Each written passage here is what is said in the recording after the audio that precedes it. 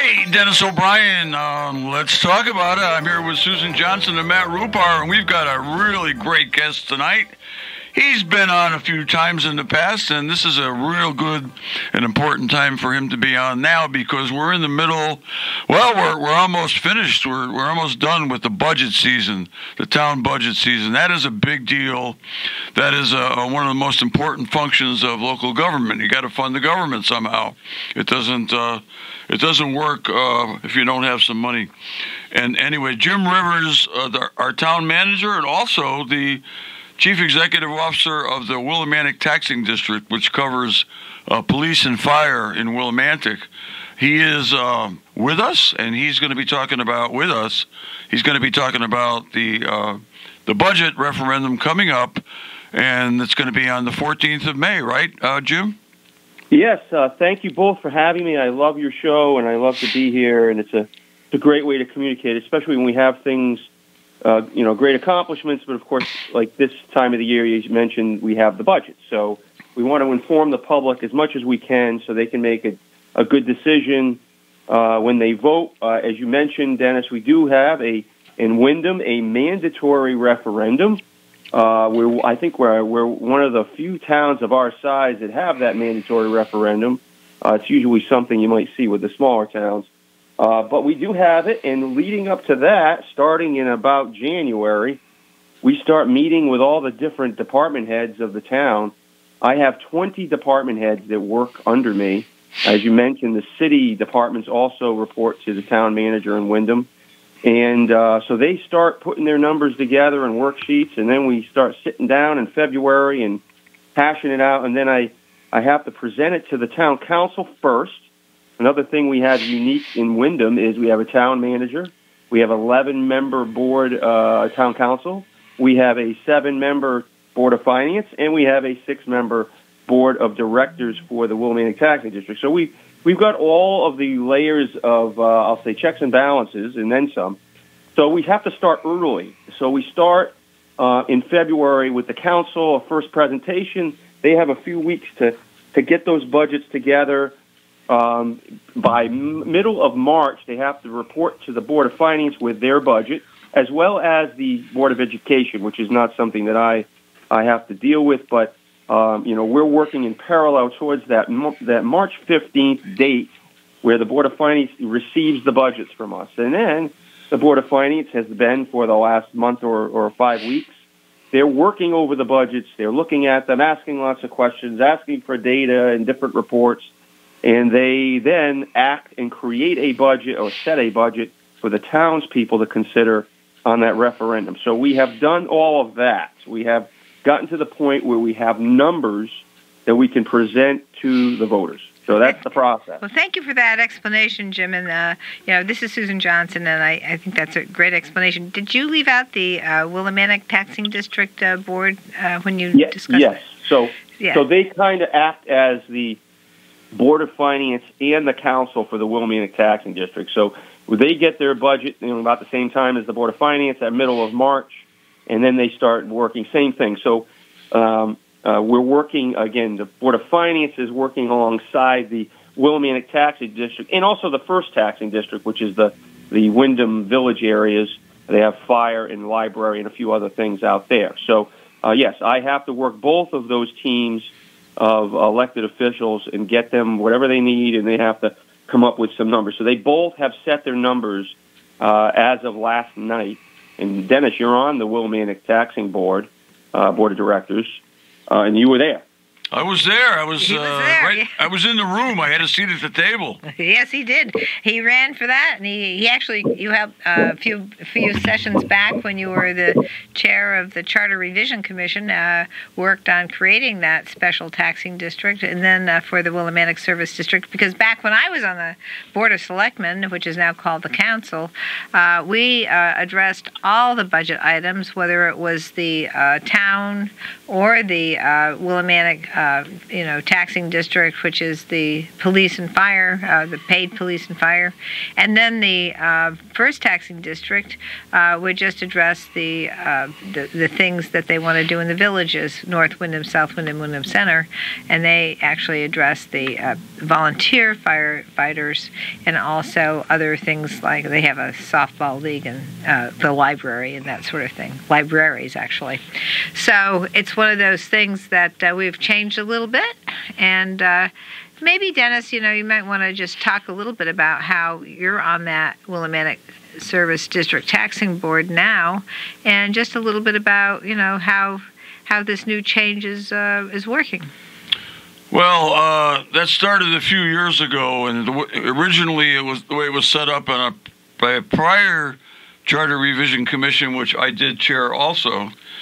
Uh, we set up a special taxing district uh, board for the city of Willimantic, uh, namely police and fire, paid police and fire, and and uh, originally the members were all the elected members of the town council who were from Willimantic. And there were some concerns raised about that by some people from the Windhams and um, one person in particular, but I won't name him. But but in any event, um, you know, maybe he was right. I don't know. But anyway, we uh, we decided that uh, at last our last charter revision that we would we would limit it to people who were not members of the town council from Willimantic. So, starting uh, this year, uh, because we had to wait for people who were elected previously for their terms to expire, but starting th- this year, starting in November, uh, if actually starting last year, November of uh, 2023, uh, all six members of the taxing district board are elected independently.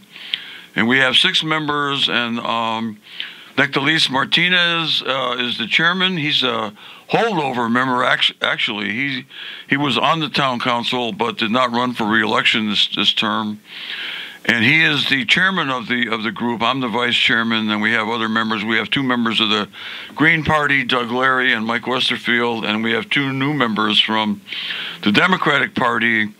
Um, oh God, Jared Leitzel and uh, Adam Richardson, and uh, it's a great group, and we have been able to agree on most everything with. Uh, the, the tremendous help we have gotten from the town and uh, mainly in the person of our town manager Jim Rivers. And we finished our work last night. We voted on a budget to send to the town meeting. There has to be a town meeting under the charter. It was something that I thought was a vestigial uh, agency that probably should should have been eliminated, but because there's no vote taken at this meeting, that's on the seventh of May. And if anybody, if people want to come, I think it's at six thirty, Jim on on May 7th for the taxing district board. And if people want to come, that's fine. We'd be glad to discuss the budgets with them and uh, uh, for the city and answer questions. But um, you know, historically, uh, ever since the uh, the meeting was being held without a vote, uh, attendance at the meeting has not been great. But we do want people to attend the vote on the 14th of May, 6 a.m. to 8 p.m. We want everybody to vote, everybody who's eligible, and that would be uh, people who are registered voters in the town of Windham, and also people who own, uh, who live in the town of Windham and own property valued at more than thousand dollars, even if they're not registered to vote. So we want everybody to vote on uh, election day, uh, May 14th. That's referendum day. Right, Jim? And absolutely. And like you said, we have a, a full slate of meetings, but many of them don't uh, serve a purpose to, as far as setting the numbers. They're more of a question and answer if there are any questions. I would make a note that, Dennis, that we, we both bodies had public hearings as we do every year. Uh, I think the, at least the hearing for the for the town is required. The city has been a tradition, but we couldn't really find that uh, written anywhere, but we do it anyway because it's a great idea. Um, but those hearings did not yield a lot of comments this year. In fact, uh, I say the only people that commented at any of those meetings were, I'd say, elected officials that just wanted to come into the other group and have a have a quick comment to them. Um, like that is unusual. Uh, if you go back to when I started about seven years ago, uh, we sometimes have a room full of people at these hearings, and uh, And now, uh, it, gradually in the last seven years, there's been fewer and fewer people attending these meetings, uh, which is actually a good sign. It usually means in most towns that there's a great deal of confidence that all the elected boards and commissions uh, or, or the elected boards and the council are, are doing their job and that they feel comfortable uh, that they don't need to come in and start, you know, managing the uh, their elected uh, people. So uh, the, that's the good news. The bad news is we don't get any feedback, so it's a, we're, we're flying blind here. We don't know we don't know how everybody feels about the budgets, but usually when nobody comes out to to have any complaints, you know, uh, uh, abstention is acceptance, I guess, when it comes to the budgets generally. Well, so that's, me, that's one, one I note. just want to make a comment about that, and you make a remarkably good point there, Jim. Uh, and I think that, but when you think about all the excuse me, interaction that all these boards have with the with the, with the uh, board, uh, not board of uh, selectmen, but the council now, the finance board, the board of education, the uh, the uh, Willimantic Service District Board, and then you've got the board, First Taxing District Board. All these boards are communicating about the budget in addition to working with the staff. That's a lot of people if you count it up. Uh, that's a lot of people who are working hard to make sure that everything works in terms of what money we're getting in, what money we have in terms of revenue from local property taxes, and uh, how we're managing uh, the how the town looks. And, and, the town looks very good. We're we're taking care of the students with uh, with the school buildings, and uh, the town is taking care. Of, the town does that, but uh, it's working in conjunction with the board of ed, and then also the uh, the actual buildings that we have that are being renovated here all throughout the town. And so, uh, so I think people are looking at the fact that the the money that's coming into the town is working well for the people. Yeah, I, I think especially in recent years, everyone, most everyone in town, sees the value of the expenditures and the capital investments that we've made and the return on that investment for their for their property values, for their quality of life in the town, for the reputation of the town. And we we talked about this many years ago that you know it turned the reputation around of the, the community, and that's when people start coming back and they invest and they live here and they want to raise a family.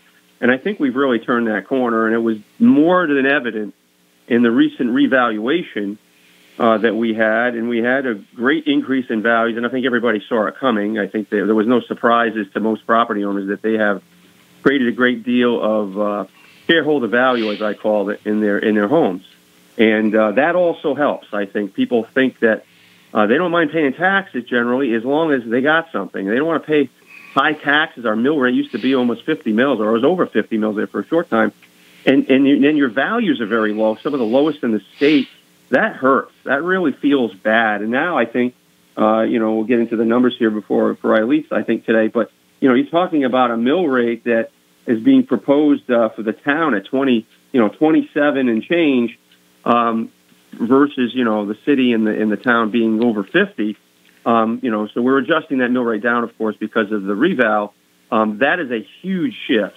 Um, and it's it's a shift that also the outside world sees because they you know some investors look at the mill rate they want to come here to invest.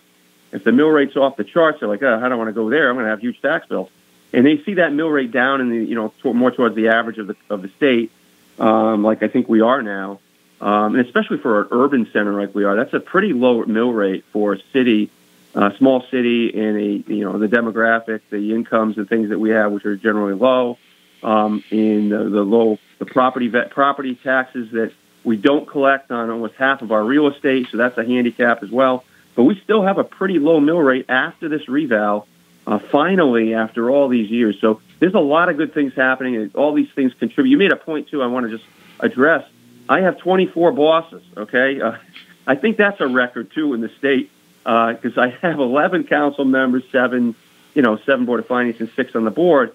Um, and, you know, they, like you mentioned, they're all talking to each other. They're out in the community talking to the community.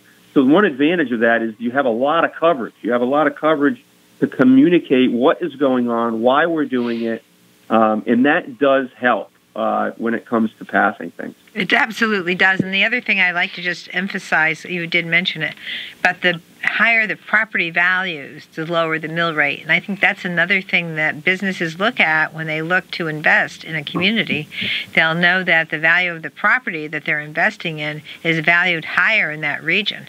And so that's one of the things that people need to really understand because people think their bills will go up if their value goes up. But as a general rule, the, the cost, the, whatever it costs to manage the town hasn't gone up that much, so the bill isn't going to go up that much. But when the when the value of the property is really high, the mill rate goes down, and it, it inspires more investment. Well, for most yeah, people, uh, for most people, from what I'm told, um, what I've learned, uh, their their home is their most valuable asset, and and for the, you know, given the all the construction, uh, uh, public construction that's going on in the last six or seven years, got the community center, the new parking garage, the Shaboo stage, and the, you know, the high school is the jewel in the crown, which is going to be finished up uh, within a year or so, and maybe less. And uh, people who have been there, I haven't been in it for a long time, but they say it's fabulous. And uh, you know, I'm sure that that is attracting. Um, there's a lot of uh, homes being being sold, bought bought and sold in this town, sold and bought in this town, and uh, you know the people that are selling are are, are getting their getting their money's worth, and, and, and that's that's wonderful. Uh, so people's uh, homes are, are, are valued where they should be.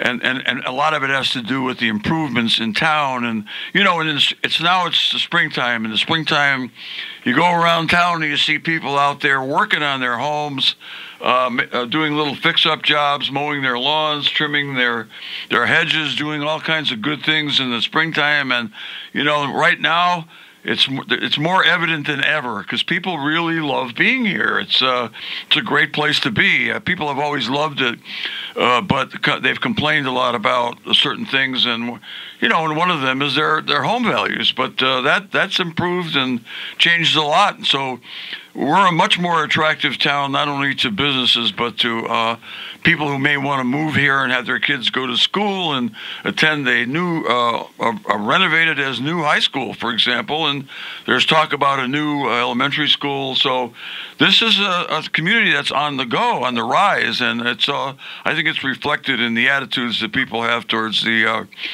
town government and, and all the town government has done to make that happen. And, and, and you know we'll we'll see what happens on May 14th, but I'm uh, I'm looking forward to uh, passing the, all the budgets again, like we have in the past few years, uh, because people are very very happy about what's going on here. Yeah, we uh, uh, this town has had a history, a terrible history, honestly, of, of uh, and it goes all these things go hand in hand, right? And I think you just hit it. Susan hit it. Um, they all mesh together, and, and not passing budgets. It, uh, it it, has a uh, an effect. It's it's a cause and an effect, right? It uh, it causes you a lot of grief because you're, you don't have a spending plan. And I think this town at times went went you know six months without a spending plan. Um, that is chaotic, and chaos is not what the bond market wants to see. So you get higher rates when you go to borrow. It's not what people coming here want to see, or or, or uh, businesses. Um, you you uh, lose in efficiency from your capital money now gets stale, and, and inflation could bite into it a little bit. So uh, there's a whole bunch of consequences to not passing budgets. Never mind the direct costs of having these referendum over and over again. Um, but again, we're not doing that anymore. And I think you mentioned it, Dennis. You know, we, we were as we were inching towards COVID, it was getting easier uh, to pass budgets. But after COVID, we had a couple years there where we didn't vote in person. Uh, you know, the Board of Finance took care of the budgets. But then these last two cycles, I think the last uh, budget, we passed it by two to one almost. And uh, that is incredible for a town with our history. But all these things go hand in hand. Look at look at our neighborhoods, and you just touched on it. You drive around in our town now, and it's it's pretty nice in every, just about every neighborhood. There aren't too many neighborhoods left that need a good facelift. Everybody has pride in their homes, and that goes hand in hand with you know, the infrastructure, better schools, all those things, lower mill rates, all those things are really clicking together and and I don't see it stopping. I think we've got a lot of momentum. We got a lot of good projects. We've only got about half these ARPA projects done. We're going to really give a facelift to all of our uh, rec parks. We I think we talked about that the last time I was on. And uh, you know, it's more is coming, folks. It's, yes, it is. You know, I got to say that that's great, and I want to just also give a shout out to the code officials who are enforcing the codes, and the fact that we now have uh, really enough code officials to actually make sure that the codes in the housing and, and the areas that people are living in are uh, we have an, we have uh, so few places to have to do the enforcement with that our code officials are able to keep up with the work so much better, and they're they're really uh, very efficient at that. So I do want to make sure that we give a shout out to our code officials for making sure our neighborhoods are looking good, making sure that the uh, the properties when people call our code officials uh, that they uh, they come out and they work with the owners of the properties to try and figure out what the best way to move is. And uh, nothing could be nicer than what Eastern did on the corner of uh, Prospect Street, which is a really a fabulous job. And I have to say thank you to Eastern for making that property look really good now. It's really helped that neighborhood. Yeah, you know, uh, the, the, another example of investment that the town made decisions the town made even before I got there. They created a blight fund, so we fine people pretty heavily if they don't address the issues that we bring to them, and that money goes back into a fund to go right back out to either, you know, tear down homes or, or provide the attorneys that we need to to put pressure on people to, to fix things they should they should be fixing. Uh, but what's happening, and it just happened probably in the last year, we're starting to see we're collecting data on the co- number of complaints that we receive. We're starting to see it turn the other way, where the complaint n- number of complaints are going down. So that is a sign that you know the standards haven't gone down because I think people are fussier than ever, which is great too. But that now there's less to complain about. At least it meets our our, our code and uh, ordinance for uh, for blight. So it's all working just like everybody hoped it would many years ago. It takes a long time sometimes to see the results from the investment. And I think that is an example with you know you look another big example is the police department. For you know that that investment was really started you know I call it the Dan, Dan Rather era, but 20 years ago they the town decided the city decided we got to put some money into this we got to fix this and and that has paid great dividends as well. So the crime rate's down and that fits right into everything else we've talked about. But uh, you know, it's I'm, I couldn't be prouder to be the town manager in this town. I'll say both of you that. Well, I, I want to thank you for your work and the staff as well because I know you're there working real hard to make sure that Windham's in great shape, and I, I appreciate that very much. And plus, it's really great to have staff people we can communicate with as a state legislator. I really enjoy being able to communicate with all the members, uh, the elected member, uh, members uh, on the on the boards and, and commissions, but also uh, with the staff members, so we can work on things that you know we can try and fix uh, in terms of how the state works with the town and the, and the state people that I have to work with are excellent. Uh, they've been they've been spot on in terms of being able to connect with them, and um, I have a great speaker. We have a wonderful uh, uh, president uh, pro tem of the Senate and a great governor. So we're really, uh, you know, working together on a, on so many things. Of course, nobody agrees on every single thing, but but as a general rule, we're, we're working together and we're we're doing a good job. Speaking of working together, I've been involved in local uh, politics in different ways for more than 40 years, and uh, I don't think I've ever seen the uh, people in town, whether they're Democrats, Republicans, Green, Independent, or whatever, working together as closely and as, as you know, in, in, in, a, in such a civilized and a civil fashion.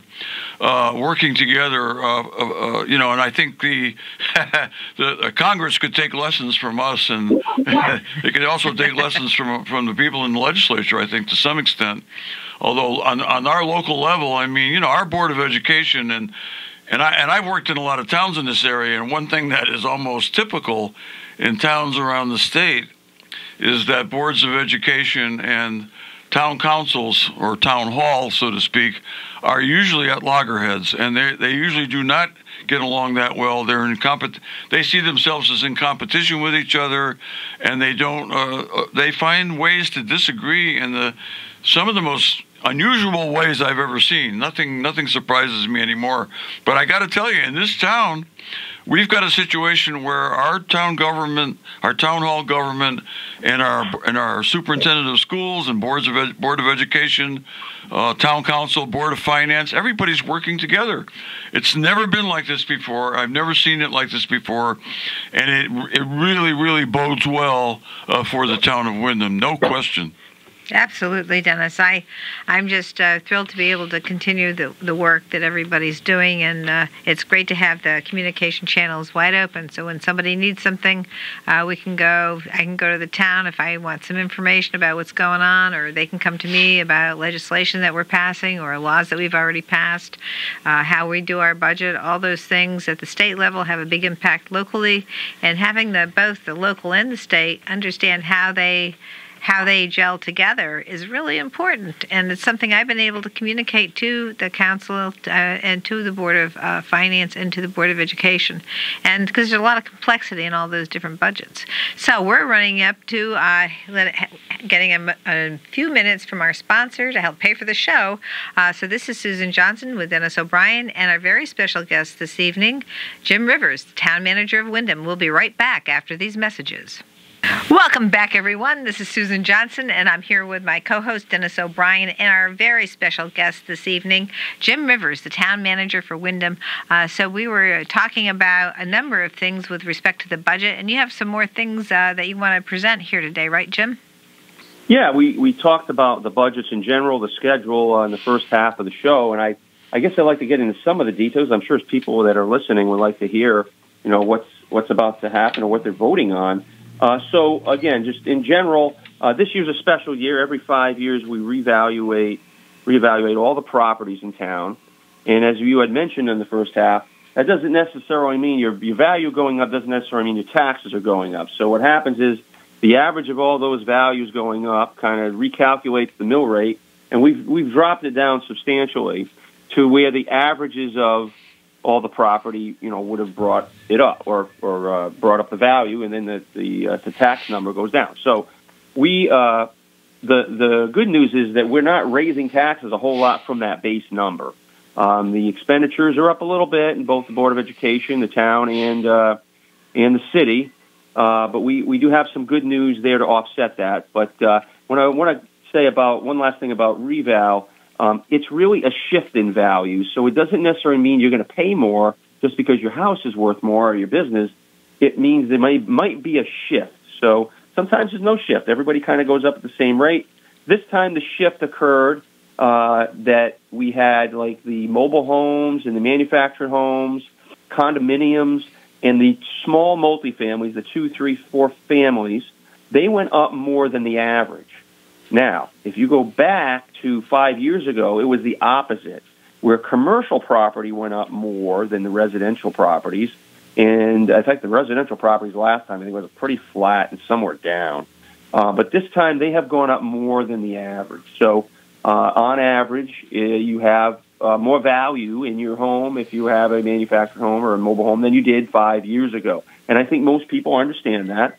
Um, and that means this, there might be a shift uh, towards them where businesses they got hit pretty hard five years ago might see a little relief uh, or have different types of business problems. So that's that's the reval. But then we get into the budget. So the budgets are different than reval.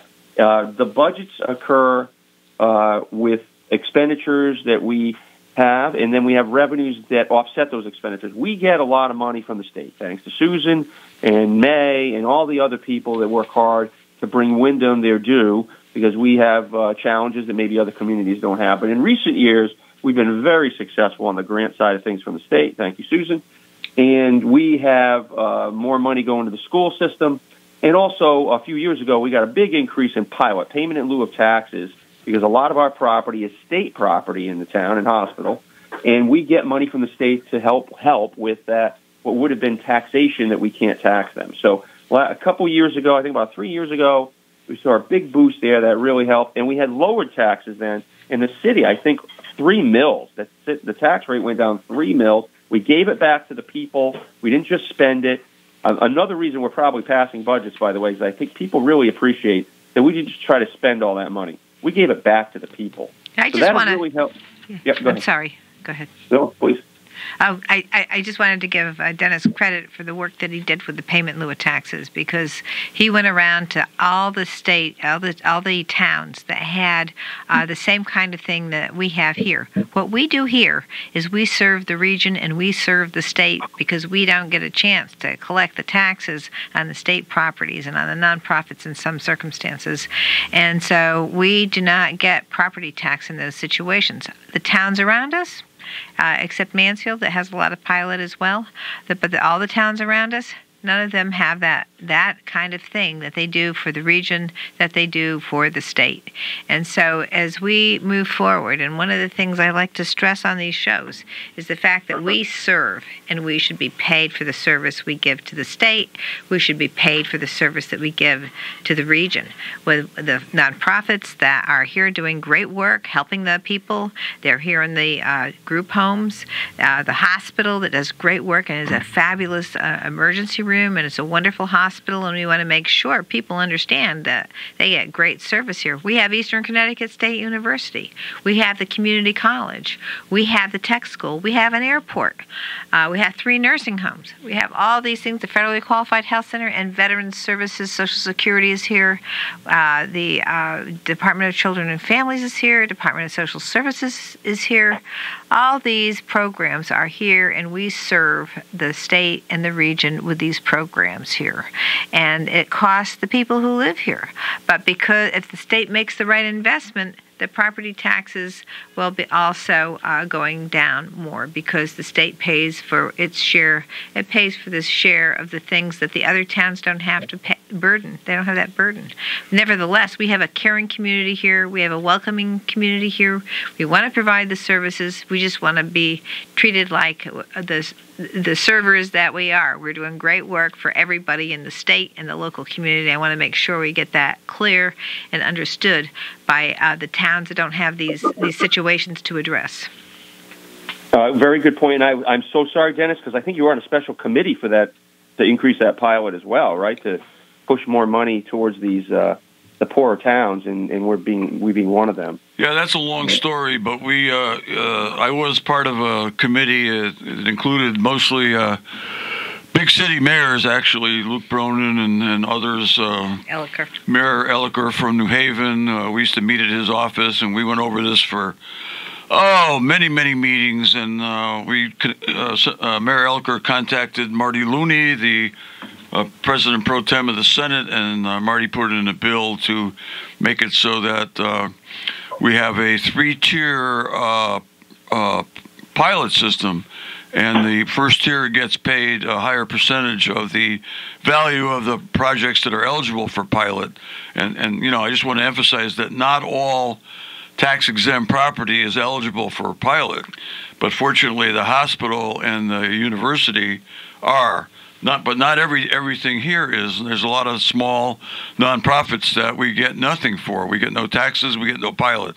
But but in any event um, we did we were able to get a higher pilot rate for the for the uh, university and for the uh, and for the hospital among a few others uh, because of this group that got together and and worked on this. And I I played a major role in getting the group together along with uh, oh Don Niles and Charlie Critch were backed me up on it. They were supportive of, of uh, an effort to try to get CCM to create this group, and uh, we did create the group. And um, I was a member of the group, and I was on the town council, and we were successful in you know increasing the amount of pilot money for towns like ours.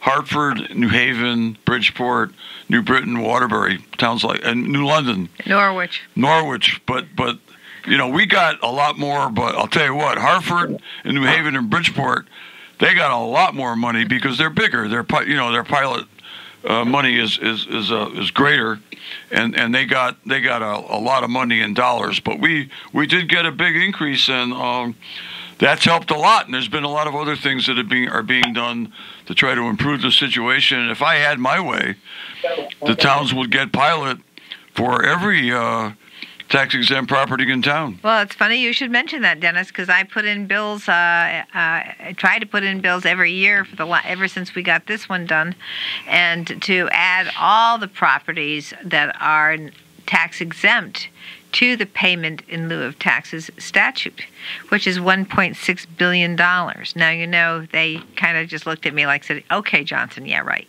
So. but but I'm going to still work on it, and uh, I'm still going to try and get out there and at least let everybody know the big thing is to let everybody know how we're subsidizing the state.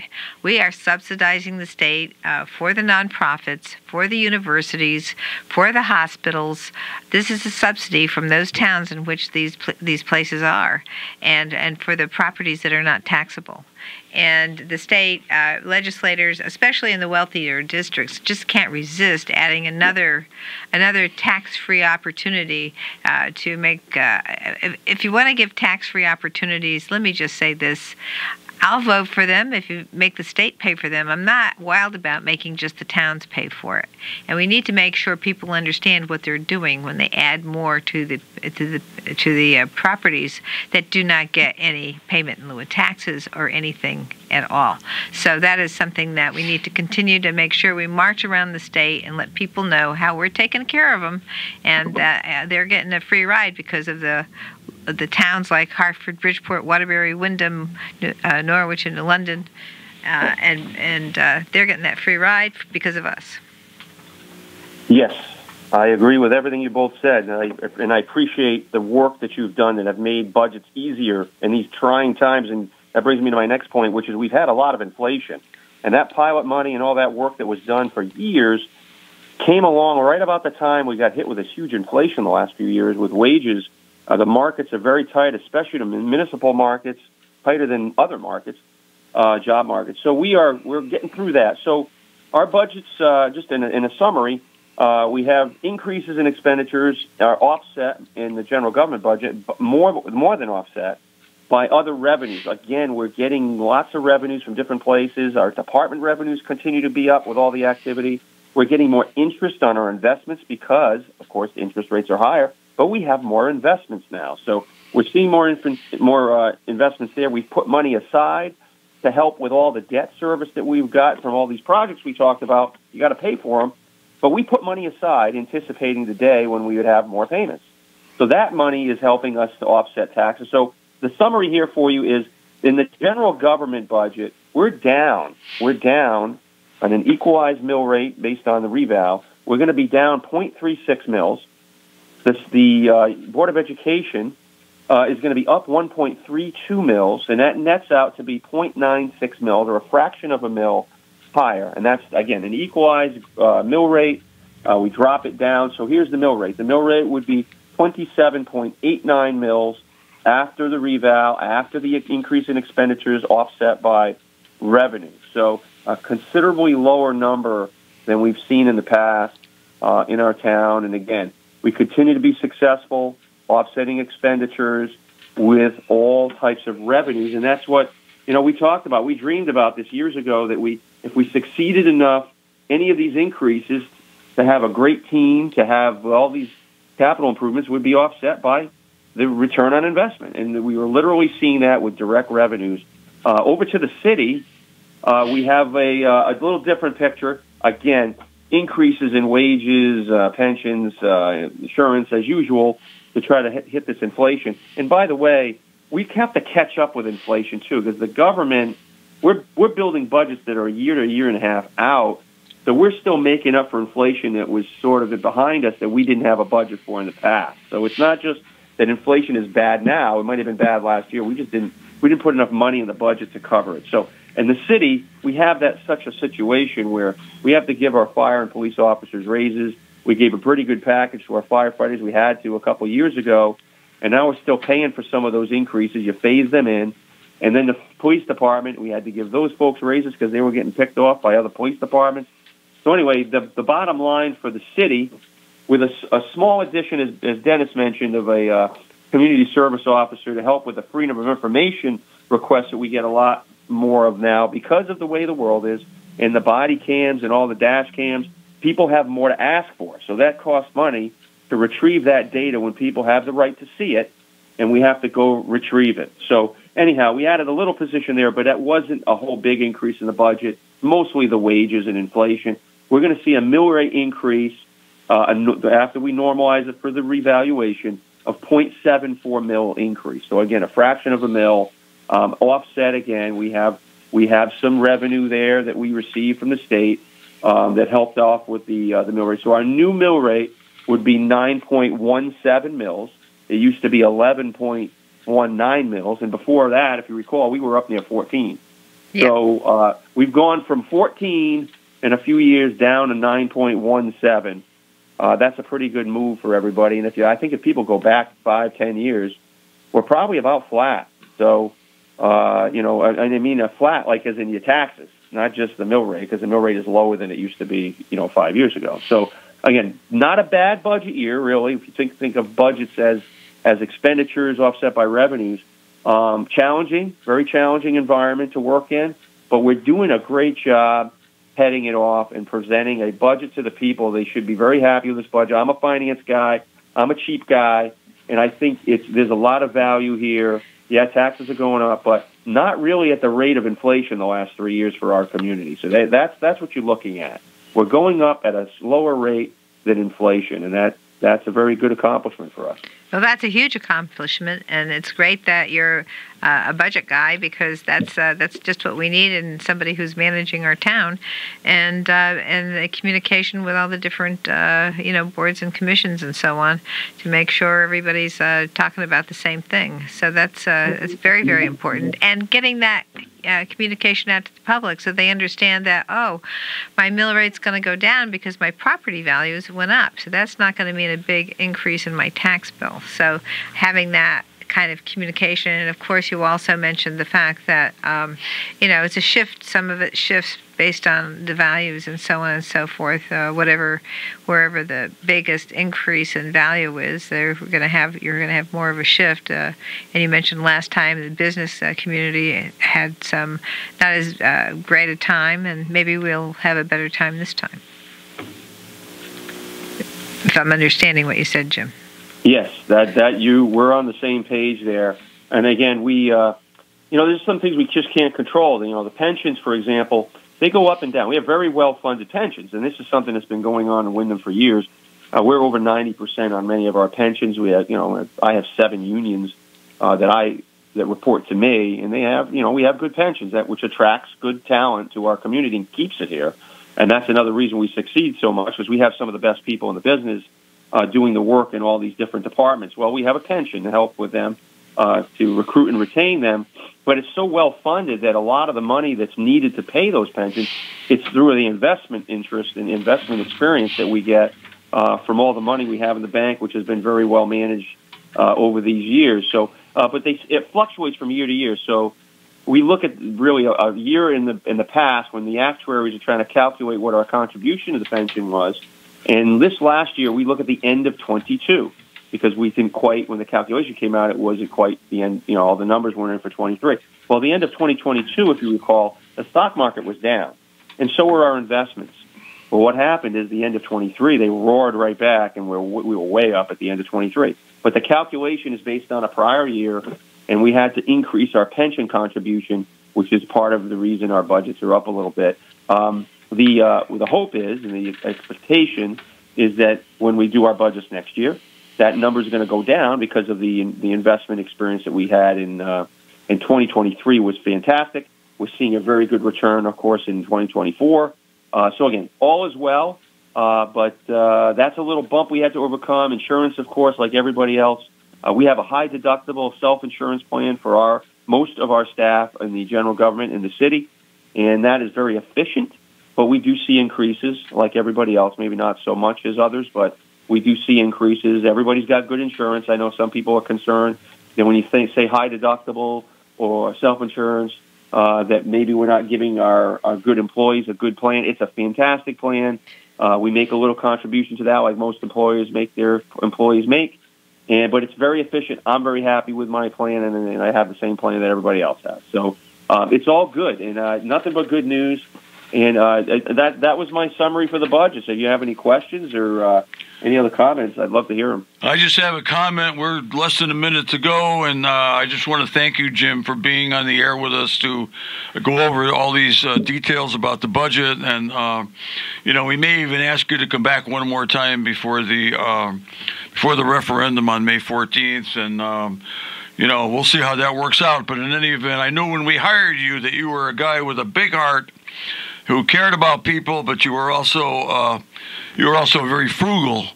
And uh, in fact, I used to refer to Charlie Critch, who was on the town council, who I, lo- I love the guy. He's a great member of the town council, and sometimes I would refer to him as a cheapskate. And but he was very good at it. And and uh, he, between you and him, you guys have done a great job of managing the town's uh, finances, and I think we're in terrific shape. And the people of the town of Windham, I think, appreciate that. So I'm expecting a uh, budget that passes by a large margin on the 14th of May. Thank you so much. Hey, thank you, Jim. Thank Thanks you for both. being on the show. We really appreciate all your work, and we appreciate your being with us uh, this evening. We'll be Great. back next week with another great show. Thank you.